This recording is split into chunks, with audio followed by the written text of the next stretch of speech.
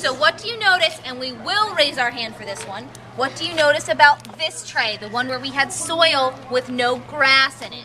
Soil with no grass in it. What did we notice? It was thinner packed.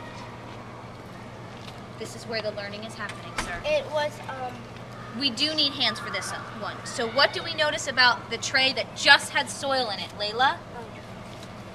and the soil's coming out. This, Soil's coming out and when we were blowing on it, what thing in nature were we creating? Raise your hand. What thing in nature were we creating, Hyro?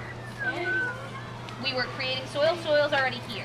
By us blowing on it, what were we creating? Demetrio, the whistling is done. Yes, you were creating wind. And wind can help move rocks and soil from one place to another. What's that word called when we move rocks or soil from one place to another? Erosion. Erosion. That's the big word for today. Say it one more time. Erosion. Erosion. Say it one more time. I don't know. Okay, we're done practicing that word. All right, if you have your hand up, you have to wait for me to call you. Okay, so we're noticing that we did see erosion happen here with you guys blowing on this soil. It didn't have grass in it.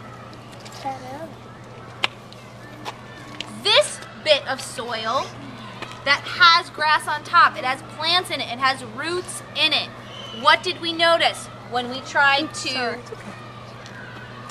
use our wind to make that soil move from one place to another. We tried to erode that soil, but what happened?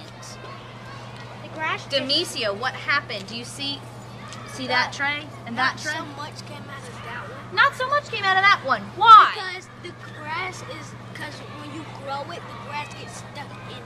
Yeah, so it's holding what together? It's holding the um, the topsoil. Yeah, it's holding the topsoil together. It's holding the soil together. So is this going to erode very easily? No. No. Very good job for telling me what happened and why it happened. Hyro.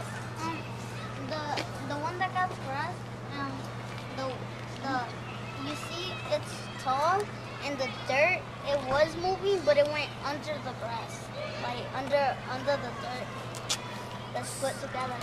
That is a great connection because maybe some of the dirt did move, but the grass was able to catch it and keep it there. So the soil was able to stay in one place. Cause. I had looked at it one day. Very good. So you were seeing in between the grass. So the soil soil was able to stay in one place, so it did not erode.